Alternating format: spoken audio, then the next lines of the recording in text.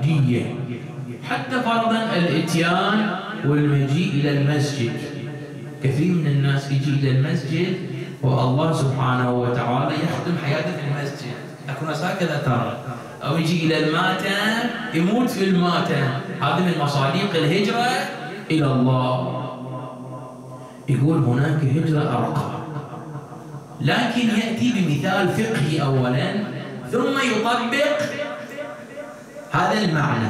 يقول الإنسان إذا نوى السفر أنت تريد تسافر خلاص. متى تقصر في صلاتك؟ إذا وصلت إلى حد الترخص. يعني شنو حد الترخص؟ يعني ما تشوف جدران المنطقة التي تقيم فيها ولا تسمع الأذان. مشهور الفقهاء قالوا هاتان علامتان لحد الترخص. تقول لكن أنا ما قطعت مسافة شرعية. أنا طلعت من المرخ وصلت إلى السنابس ماكو مسافة. يقول لك قصر في صلاتك. يقول ليش؟ يقول له وصلت إلى حد الترخص. واضح لو مو واضح؟ ها؟ يقول كذلك الإنسان الذي يهاجر إلى الله إذا قلت واضح حرك راسك حتى أعرف ها؟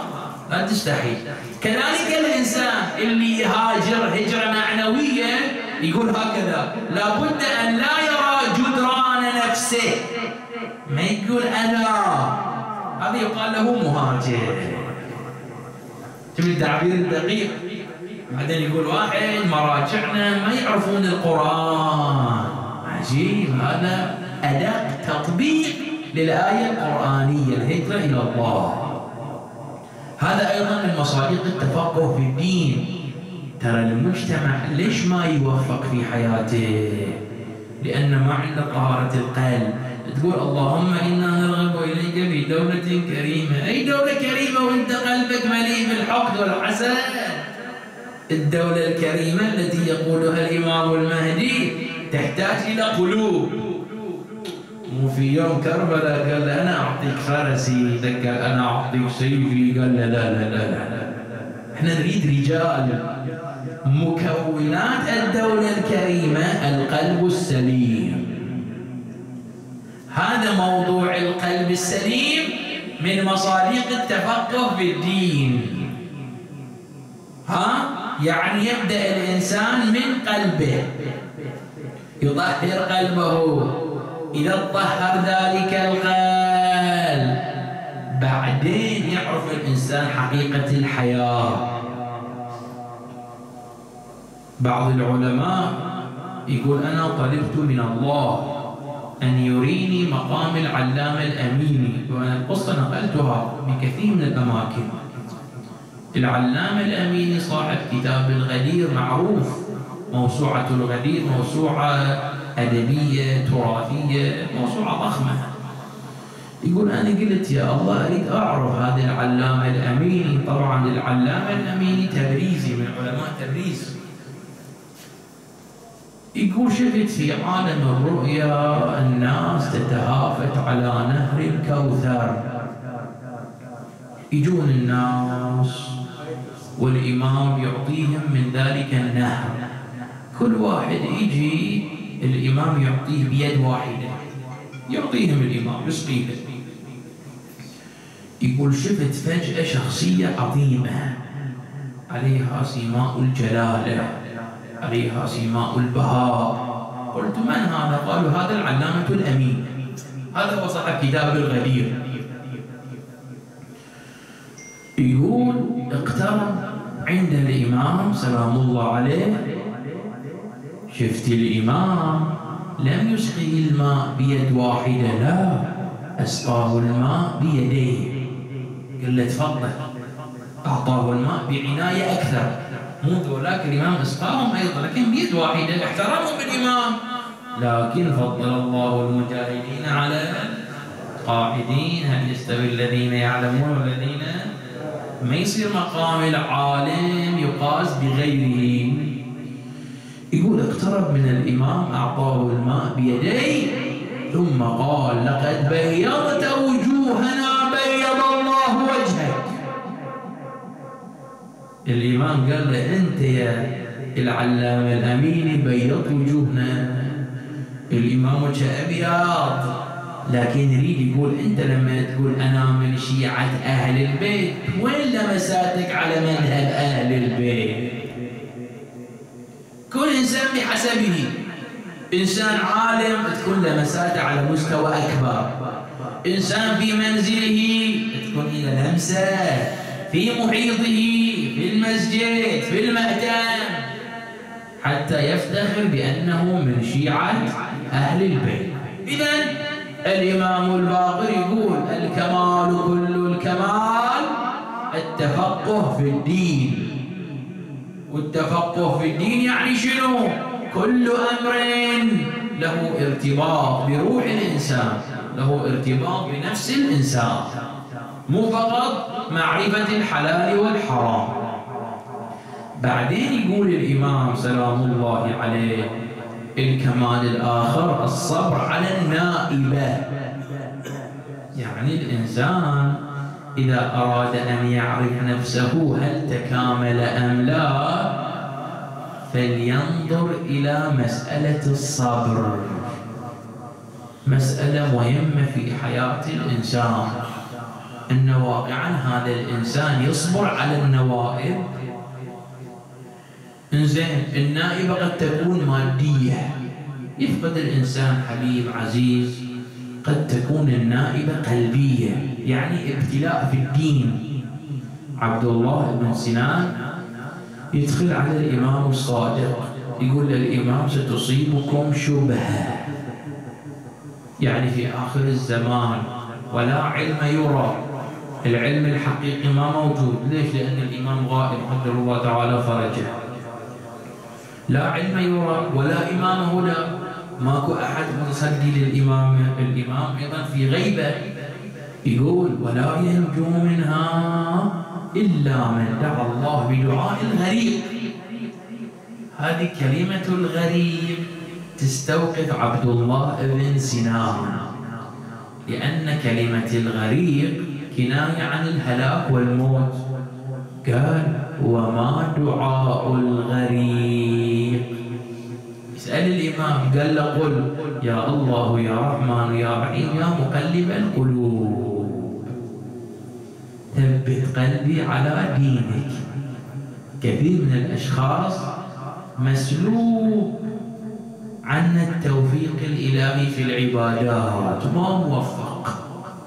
حتى إذا ذهب للمسجد إلى أماكن الذكر ما يستشعر بقيمة اللذة المعنوية. ها؟ في بعض الأدعية اللهم أذقني حلاوة محبتك. هذا كلام الإمام الحسين سلام الله عليه في دعاء عرفة. أذقني. ترى المحبة الإلهية حلاوة. هذه الحلاوة مو كل إنسان يتذوقها لا. أكو أشخاص بعيد عن اللطف الإلهي. هذا أيضا في ابتلاء كبير. يقول أنا كل سنة أروح الحج مستانس يقول الإمام ما أكثر الضجيج. فأقل الحجيج. تعال. يروح الشب للإمام يقول له يا ابن رسول الله حججت. قال له ممتاز. هنيئا إلى قال له تعال. قال له أنت لما نزعت المخيط ها نزعت ثوب الذنوب المعاصي. قام يعدد الأمور المعنوية للعبادة المعنوية للحج. قال له لا ما مرتب قال له زين. قال له لما رميت الشيطان رميت الشيطان نفسك. قال له لا. قال له ارجع فانك لم تحوط قال له أنا رايح الحج دفع 2500 دينار. قال له ارجع. فإنك لم تحج. هذا ابتلاء ترى. العبادة التي لا تعطي الإنسان رقي في سلوكه الخارجي هذه عبادة ناقصة. الصلاة معراج المؤمن. يعني أنت من تقول الله أكبر. يبدأ عندك العروج. متى تنتهي؟ إذا سلمت. بعض الأكابر يقول أكو أشخاص يقول الله أكبر. يبقى مكانه. يخلص يبقى مكانه. ما يتحرك. شايف هذه الدراجة الرياضية التي يتحرك بها الإنسان الجسم ها؟ للرياضة ما نتحرك فقط في مكان واحد بعض الأشخاص صلاتهم هكذا. زين الصلاة والعبادات وجميع الطقوس العبادية التشريعية. إذا لم تتحرك في حياة الإنسان هذا أيضا ابتلاء. هذا ابتلاء. لازم يصبر الإنسان على هذا الابتلاء ويرقي نفسه. بعدين يقول الإمام آخر كمال وتقدير المعيشة. أو تقدير المعيشة. الكمال كل الكمال أن يقدر الإنسان لمعيشته لإحتياجاته المادية. يقول آخر الشهر خلص المعاش. هذا ما عنده تقدير لمعيشته. الشوفة في البيت ما يعيش السعادة مع زوجته مع عياله. هذا ما عنده أيضا ماذا تقدير في المعيشة. الشوفة مع الناس في مجتمعه في محيطه لا يمتلك أدوات الرقي بالتعامل. هذا ما عنده تقدير في المعيشة. القرآن يقول اذهبا إلى فرعون فإنه طغى تعال نتهاوش إياه لا فقل له قولا لينا. هذا أيضا من مصاريف تقدير المعيشة. هذه الأمور يبينها الإمام الباقر صلوات الله وسلامه عليه بأن كمال الإنسان في التفقه في الدين بمعناه الأعم كما بينا. الكمال الثاني أن يصبر الإنسان على المصيبة. الكمال الثالث أن يقدر الإنسان لمعيشته. وهذه الأمور تصنع السعادة في حياة البشر.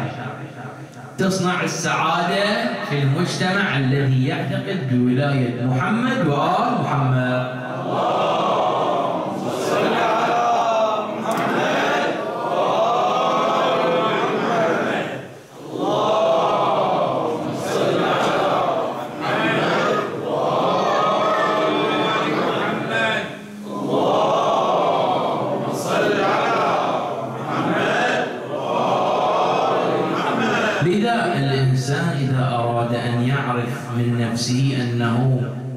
يطبق كلمات أهل البيت يمتحن نفسه في هذه المواقف العملية.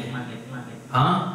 الإقتداء النظري أن يلفظ الإنسان على لسانه أنا ألتزم بالمبادئ التي بينتها الرواية هذا إقتداء نظري ما له قيمة. الإقتداء العملي هو الذي يبين قرب الإنسان من أهل البيت. السلوك العملي في المجتمع. مو الادعاء. كثير من الناس يدعون ترى أهل ادعاء ما شاء الله. والسلوك يبين. أما الاقتداء بأن يطبق الإنسان تلك المفاهيم حينئذ يعرف من نفسه أنه قريب. أيضا من الأمور الملفتة في سيرة الإمام الباقر صلوات الله وسلامه عليه أنه أوصى بعد وفاته أن تندب عليه النوادب عشر سنوات في منى. هذه أيضا مسألة جدا عجيبة. يعني قد تكون مسألة اختص بها الإمام صلوات الله وسلامه عليه. يعني في الروايات ماكو بأن الإمام الصادق أوصى أو الإمام الكاظم. هذا أيضا بيان إلى مظلومية الإمام الباقر. لأن في زمان الإمام الباقر صلوات الله وسلامه عليه كانت مدارس الفقه منفتحة. في زمان الباقرين أو الصادقين كانت المدرسة الفقهية في أوجها انزين هذه المدرسة لم تأخذ حيزا كبيرا بمعنى أصبح الإمام هو الولي الشرعي. هذه من ظلامة الإمام سلام الله عليه. لذا مصيبة الإمام الكاظم مصيبة عظيمة. بالإضافة إلى تلك الوصية يقول كنت في الخيمة وأسمع أضلاع جدي الحسين تتكسر كما تتكسر القوارير. طفل صغير يتذكر واقعة كربلاء لذا شيعة موالين no